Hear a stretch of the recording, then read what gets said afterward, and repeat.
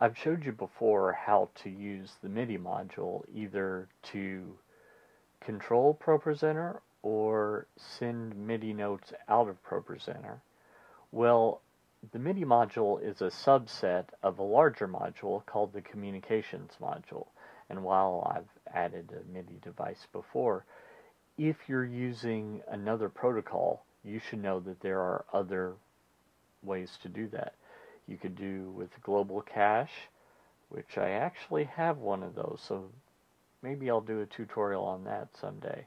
Um, MIDI, of course, Rosstalk DMX, uh, Grass Valley, Sony, AMP. So you can just see you've got different protocols that you can use to either send controls uh, from ProPresenter to these devices or vice versa. Um, another thing to do is you can do DMX.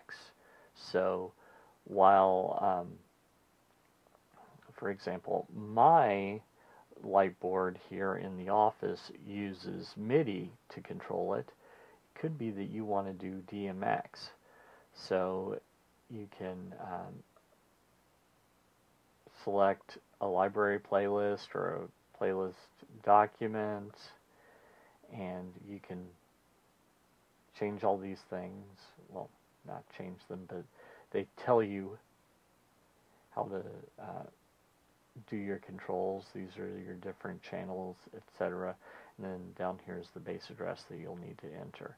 So I know that that's not very detailed but it's just a quick overview of what the communication modules what the communications module can do in ProPresenter 6.